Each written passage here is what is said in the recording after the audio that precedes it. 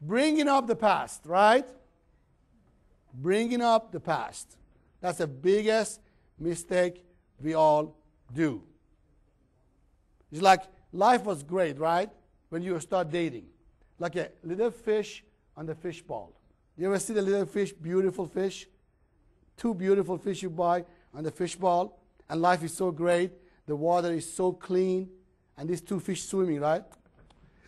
What's the, what is the song? It said, "Take me to the uh, ball ball game." What? How it goes? Take me to the ball game. Start singing with me. I don't know the song. Go, ball game. Take what? And they go poop. And see somebody pooping in the water. Honey, another problem. Let's go. Let's go play more. Take me to the ball game. Come on. Poop. Oh, another mistake we did. It's okay. Two poops we can handle. Let's go. Play more. Poop, poop, poop, poop.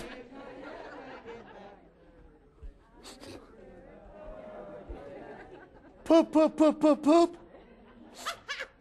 Keep, keep going, keep going. Life is so good. Oh.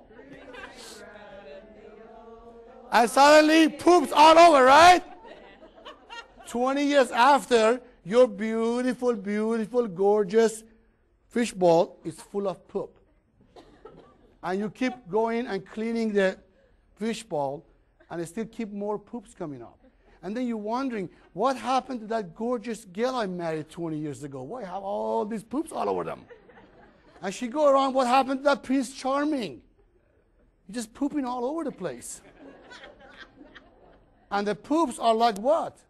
Communication you didn't do, disrespect that you showed, promises that you broke, all the past that you brought in. Your mom said this, your sister said that. Do you remember that day you were looking that girl? Do you remember when we get married, you said, guest, c- cut the guest down, or whatever? All the past that you carry and you blaming for is like all this poop in the water that you don't know what to do with them. And then you blaming the water, called the relationship.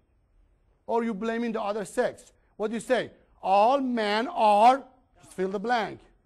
Dogs are poopers. All women are, fill the blank. You blaming the water, you blaming the bowl, not blaming yourself.